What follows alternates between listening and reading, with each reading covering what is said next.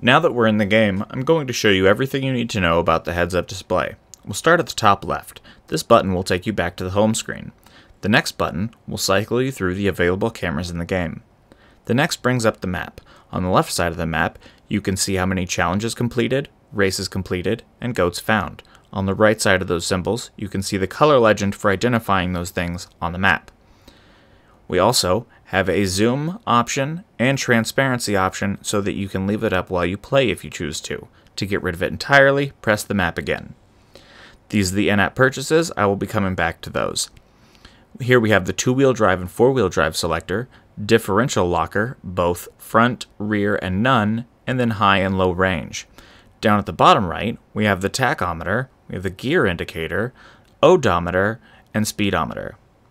On the bottom left, we have an inclinometer, a compass, a winch, and a reset button in case you are stuck or upside down.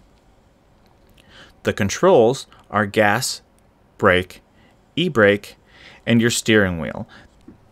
The steering wheel can be pulled left and right as it normally would be, and you can also extend your reach and have very precise, delicate movements. Going back to the in-app purchases, press the plus sign on either the blue or green box at the top of the screen. That will take you here.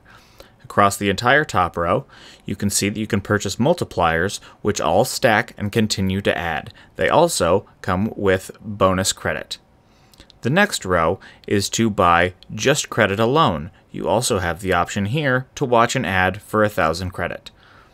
Down across the entire bottom row, you can like all of our sponsors pages for another 1000 credit apiece.